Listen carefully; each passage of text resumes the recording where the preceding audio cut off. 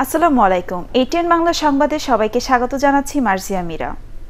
আসন্ন দুর্গাপূজার শুভেচ্ছা হিসেবে বেনাপোল বন্দর দিয়ে গত দশ দিনে প্রায় আটশো ছয় টন ইলিশ ভারতে রপ্তানি হয়েছে, যার দাম আশি লাখ সাতান্ন হাজার মার্কিন ডলার। প্রতি কেজি ইলিশের দাম নির্ধারণ করা হয়েছে দশ ডলার।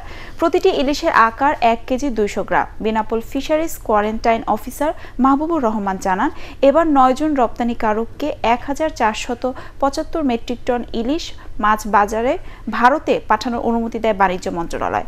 গত দশ সেপ্টেম্বর বারো মেট্রিক টনের ইলিশ প্রথম চালান ভারতে রপ্তানি হয়। গত বছর শারদীয় দুর্গোৎসবে শুভেচ্ছা হিসেবে পাঁচশো মেট্রিক টন ইলিশ রপ্তানির অনুমোদন দিয়েছিল সরকার।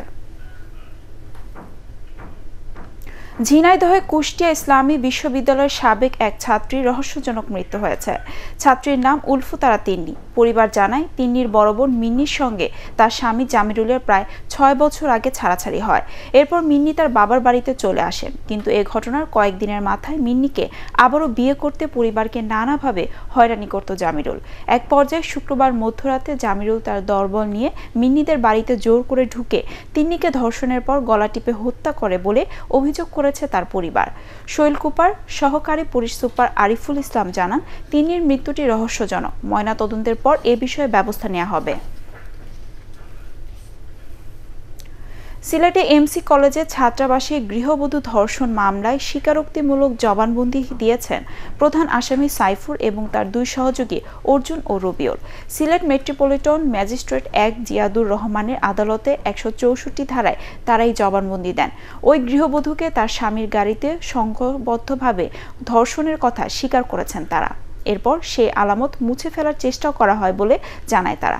পাঁচ দিনের রিমান্ড শেষে শুক্রবার বিকেলে এই তিন আসামিকে কড়া নিরাপত্তায় আদালতে আনা হয়। এর আগে গত সোমবার আরও পাঁচ আসামির পাঁচ দিন করে রিমান্ড মঞ্জুর করে সিলেট মেট্রোপলিটন ম্যাজিস্ট্রেট দুই আদালত। আজ এই মামলার অপর তিন আসামি রাজন আইনুল এবং মুহিবুর রহমান রনিকে আদালতে তোলার কথা রয়েছে।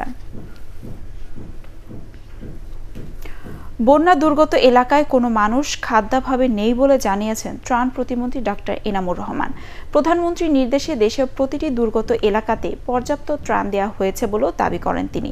সাভারের হেমায়তপুরের ঋষিপাড়ায় উপজেলার দশ ইউনিয়ন পরিষদের চেয়ারম্যানদের সাথে মতবিনিময় সভায় তিনি কথা বলেন।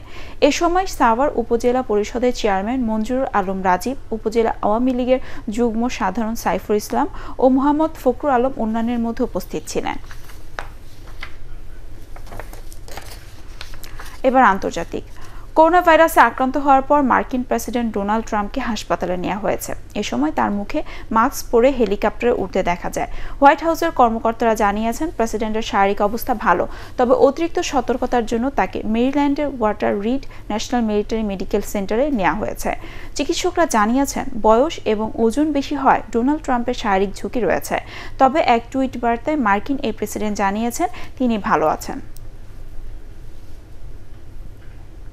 দর্শক, পরবর্তী সংবাদ দেখার আমন্ত্রণ জানিয়ে এখনকার মতো শেষ করছি।